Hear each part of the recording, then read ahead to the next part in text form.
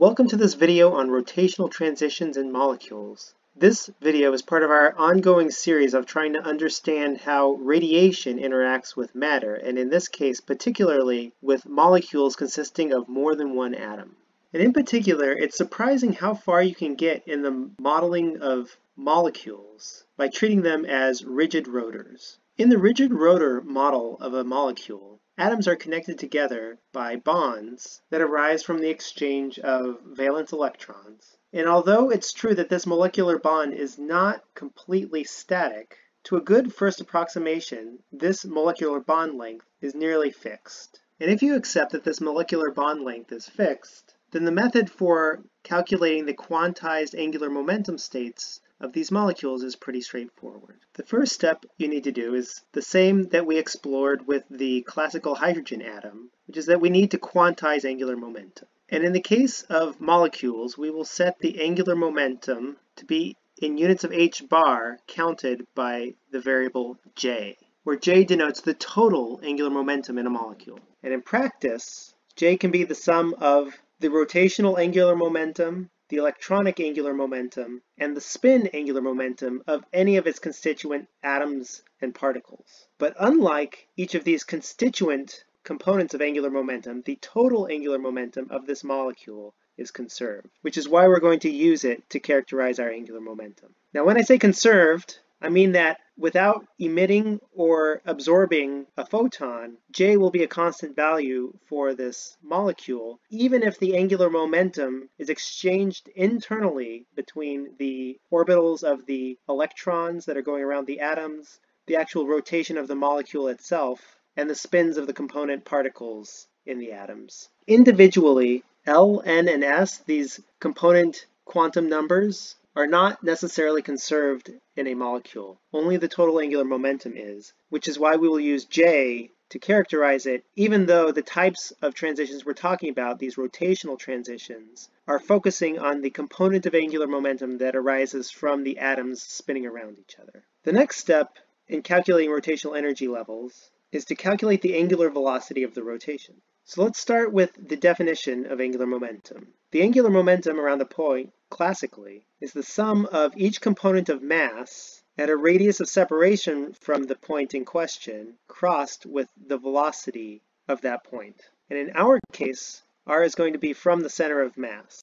And I'm going to go ahead and choose the component of the velocity that's perpendicular to that r, v perpendicular, so that I can simplify this sum without the vector notation as simply the mass times the radius times the perpendicular velocity of each massive particle or atom in the molecule. Now if we assume solid body rotation in this molecule, the rigid rotor model, then v perpendicular is equal to the distance of a point from the center of mass times the angular velocity of the rotation around that point, the center of mass. Which means we can write our angular momentum as the sum of mr squared omega, where omega is the angular velocity of the rotation. And because the angular velocity of the rotation is not dependent on which particle we're talking about, we're assuming rigid rotation, we can factor it out of the sum here to say that angular momentum is the moment of inertia times omega, where I'll remind you that the moment of inertia is this sum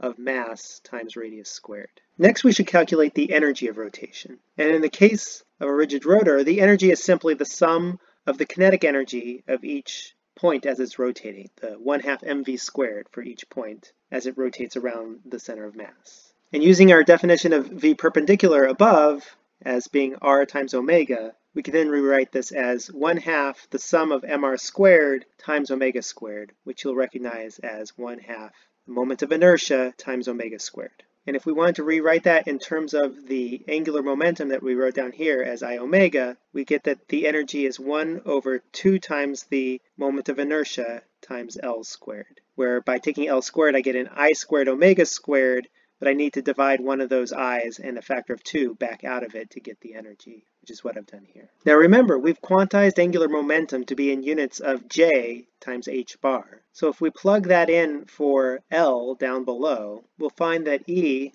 is equal to h bar squared over 2 times the moment of inertia times j squared. Now I want to caution you that this equation is close but not quite right. The reason it's not quite right is because in detail, quantum mechanically, the energy operator that generates the various angular momentum states, which is the Laplace operator acting on the spherical harmonics in the algebraic group SO3, which is the space of rotations in three-dimensional space, actually has energy eigenstates of j times j plus 1, not j squared. So this is just a small quantum mechanical detail in our semi-classical treatment of molecules as rigid rotors. But with this little fix, we can get the actual energy associated with the rotation of this molecule as h bar squared over 2 times the moment of inertia times j times j plus 1. So this is great. This gives us the energy of a molecule in a particular quantized rotation state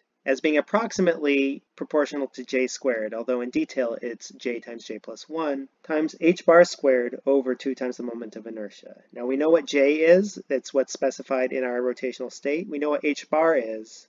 What we need to do is to be able to calculate what is the moment of inertia, I, and then we can calculate what the actual energies are for actual molecules. Now to calculate the moment of inertia for a general molecule, you need to first find the center of mass of that molecule, and then find relative to that center of mass the separation vector r times the mass at each point.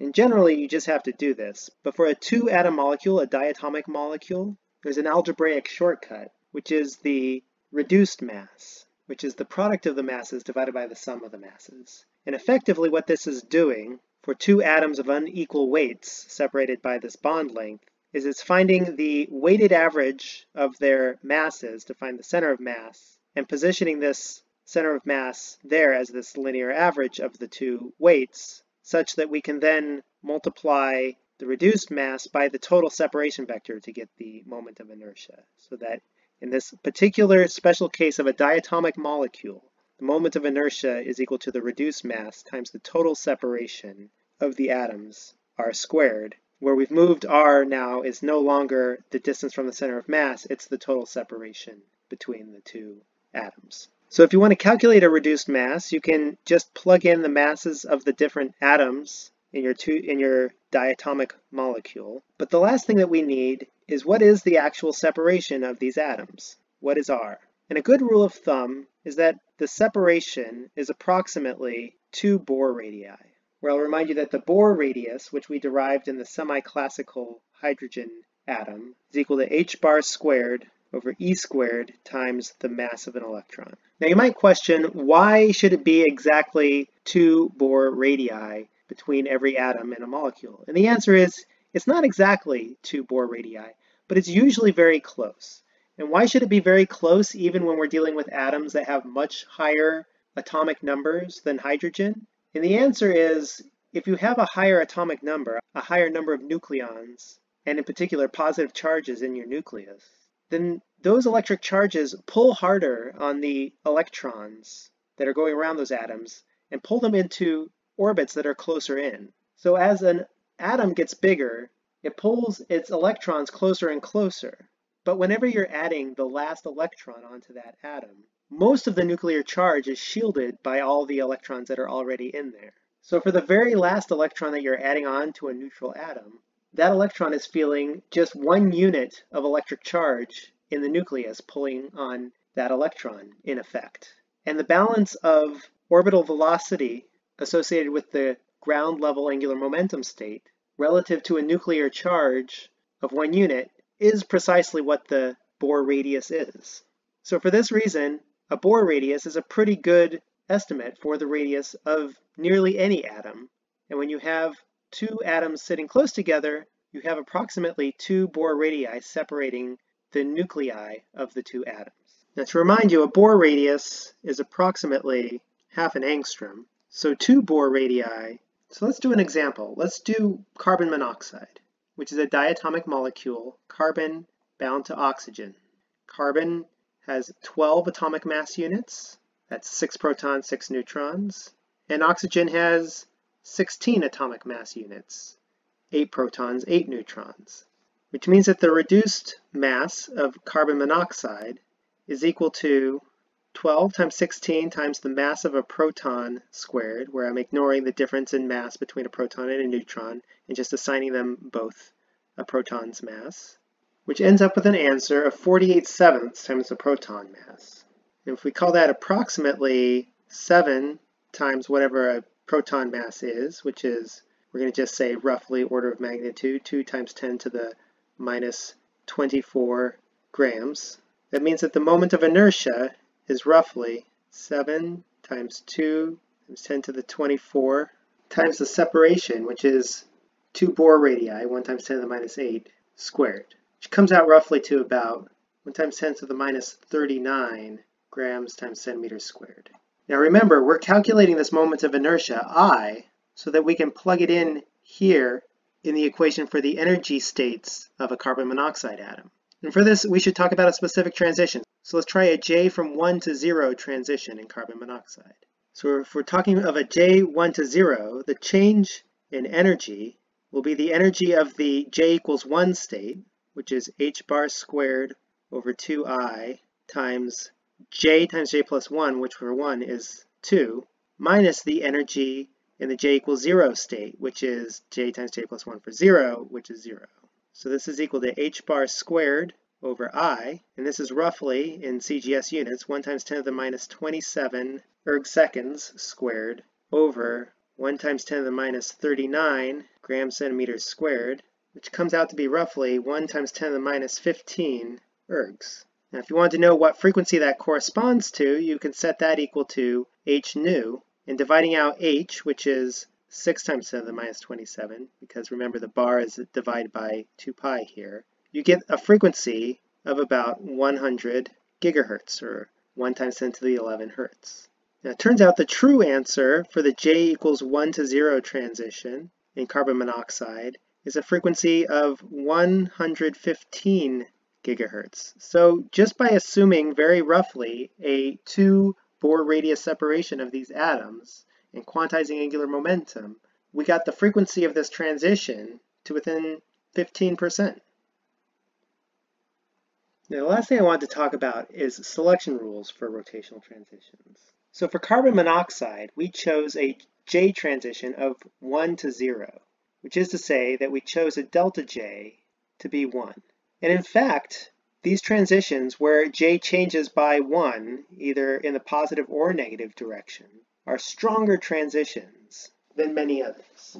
And they are stronger transitions because the quantum mechanic pathways for producing photons from these transitions are more straightforward. This happens because they can directly produce a photon. And to directly produce a photon, you need a dipole moment. These dipole moments, which are in asymmetric molecules, are what give rise to Larmor radiation. And macroscopically, Larmor radiation is what's launching the photons. In quantum mechanics, there are multiple pathways to producing photons, but these dipole transitions are the ones that are producing the photons directly.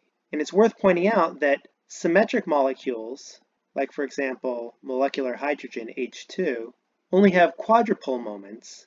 And when you only have a quadrupole moment, you can't directly launch photons the way you can with a dipole moment in Larmor radiation there's internal cancellation that needs to happen quantum mechanically. And this actually restricts us to changing angular momentum states by plus or minus 2. But for dipole transitions, because you can directly produce a photon, delta J will change by 1. And the reason it changes by 1 is because photons carry off a unit of angular momentum. Photons carry angular momentum. So by changing an angular momentum state by 1, we're allowing our photon to be launched directly carrying some angular momentum.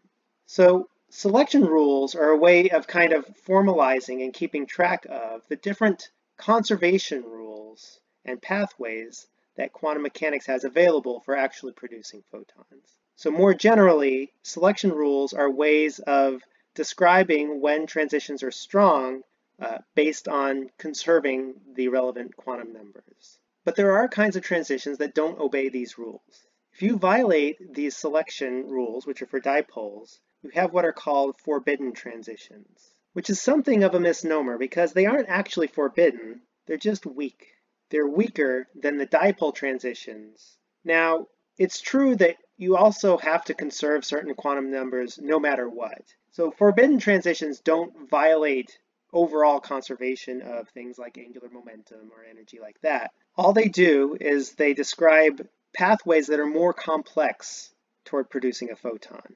And often these more complex pathways involve simultaneously changing different states inside of the molecule, where you could, for example, go from a j equals zero to a j equals zero state. And that is in fact a transition that can happen. For example, it does happen in the 21 centimeter transition of hydrogen, but it's a very weak transition because it's forbidden. It's not a dipole transition and it doesn't obey the selection rules for dipole transitions. So that was the last piece that you need to know about rotational transitions, which is that there are selection rules about how we can translate between different angular momentum states in a molecule. But roughly, if you have an asymmetric molecule, you'll probably have a dipole moment. And if you have a dipole moment, your angular momentum is going to change by units of one in a photon transition.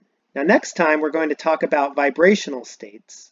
And it's worth mentioning before we do that rotation and vibrational states couple. So while we can describe rotational transitions by themselves just fine, and we do, more generically, we talk about rovibrational transitions, which involve simultaneous transitions in rotation and the vibrational modes of molecules.